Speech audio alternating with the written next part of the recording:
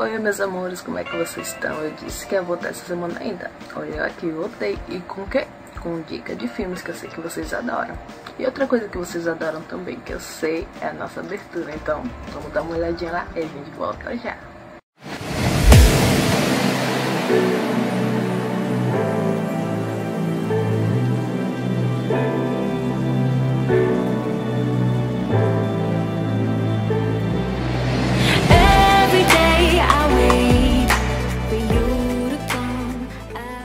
Claro, antes de começar o vídeo, antes de ir em frente, o que, que a gente faz? Você que não é inscrito ainda no canal faz o que? Deixa eu ver.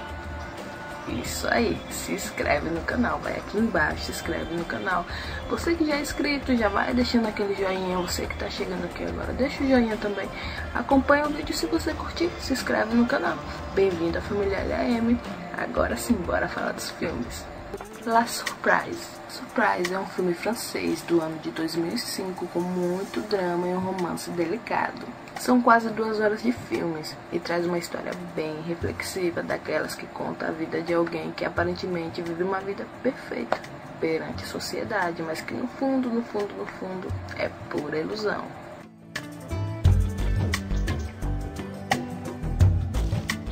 Marion, uma professora de 45 anos, vive presa em um casamento sem amor, e é exatamente no dia do aniversário desse casamento que ela se dá conta que nem ela e tampouco o marido se lembravam disso.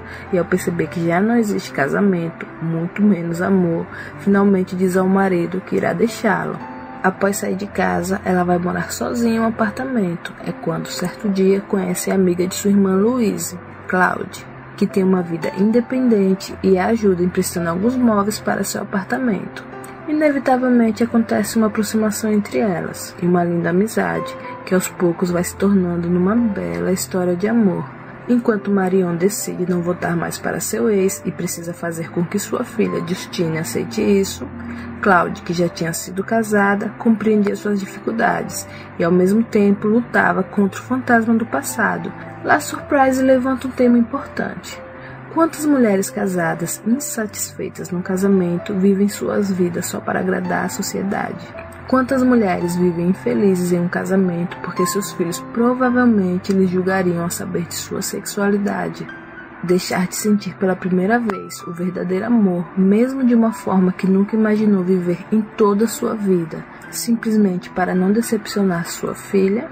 Ou entender que todo mundo merece a chance de amar e ser amada? O que você, no lugar de Marion, faria? Será que ela tomará a decisão certa? Será que Claude terá paciência de esperar? Será que Claude conseguirá resolver seus problemas do passado e se permitir ser feliz novamente? Já sabe, né? Basta assistir e comentar aí embaixo.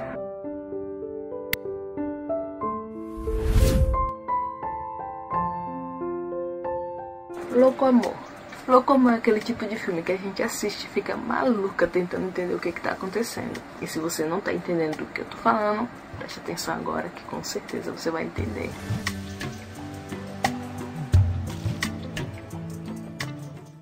Louco Amor fala sobre Kiki e Alex, duas meninas que se encontram na faculdade, criam um laço intenso de amizade que gradualmente se transforma em amor. Uma história em que somente elas sabem o que acontece, mesmo que ao redor algumas pessoas possam desconfiar. Alex é uma jovem que vai morar como inquilina na casa de uma senhora por não se adaptar aos dormitórios da faculdade. Filha mimada, admirada pelos pais, mesmo vivendo um relacionamento lésbico, faz de tudo para nunca se expor e nem tampouco os decepcionar. Kiki, uma jovem criada de uma forma bem radical, sem regras, vive uma relação muito conturbada e confusa com seu irmão Sando. E nitidamente ele tem um certo ciúme doentio que não permite que sua irmã viva sua vida ou qualquer outro tipo de relacionamento. Mesmo amando muito Kik, Alex não gosta muito da situação estranha da relação dela com seu irmão e começa a questionar sobre sentimentos entre os dois. Sempre fugindo da situação, Kiki tenta afastar-se de seu irmão e viver sua história de amor com Alex, por quem ela realmente está completamente apaixonada. Isso até seu irmão a encontrar e transformar sua vida em um verdadeiro inferno. Verdades obscuras reveladas, Alex conseguirá compreender o que aconteceu e perdoará Kiki Kiki conseguirá se livrar de seu irmão e a obsessão do relacionamento de ambos? E após assistir esse filme bem complexo, voltem aqui e comentem.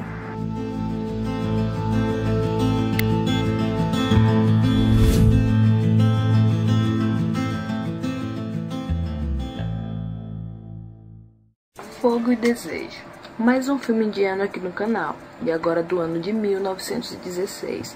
E se a pergunta é, vale a pena assistir esse filme? Sim, vale muito a pena, principalmente se você gosta de um bom drama e romance.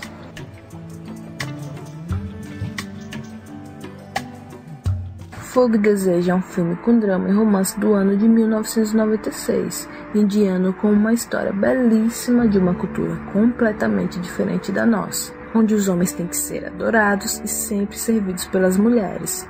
O filme traz a história de duas jovens que se apaixonam intensamente aos poucos. Para nossa surpresa, são casadas e cunhadas. Sita é traída por seu marido e sofre por não ter respeito e nem tampouco a atenção como mulher que merecia ter. Isso decorrente de um casamento sem sentimentos por ter sido arranjado. Rada, uma mulher com baixa autoestima por ser estéril e não poder dar filhos a seu marido, vive um casamento infeliz e é completamente ignorada por ele, que esquiva-se de qualquer contato íntimo com ela, alegando que sexo sem fins reprodutivos é pecado. As duas vivendo ao mesmo tempo momentos dolorosos, abandonadas e insatisfeitas, envolve-se num romance secreto. Ao perceberem que não vale mais a pena viver uma vida sem sentido, em um casamento sem amor, ela se permite sentir e viver essa paixão. Porém, o que acontecerá quando seus maridos descobrirem o que está acontecendo debaixo de seus olhos? Se errada terão coragem de ir embora e lutarem pelo que sentem? Ou vão continuar em casamento sem sentimentos? O filme aborda o tema sobre casamentos arranjados, muito comum entre os indianos, e a insatisfação sexual e o romance entre duas mulheres. Esse filme pode ser encontrado no YouTube, basta colocar o nome Fire ou Desejo de Fogo.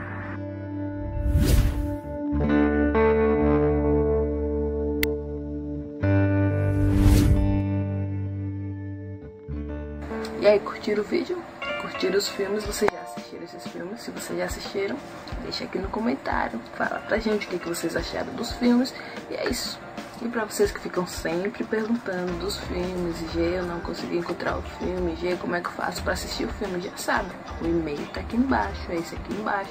Manda um e-mail lá pra gente, conta qual é o problema que a gente tenta resolver, te ajuda a encontrar, beleza? Até o próximo vídeo.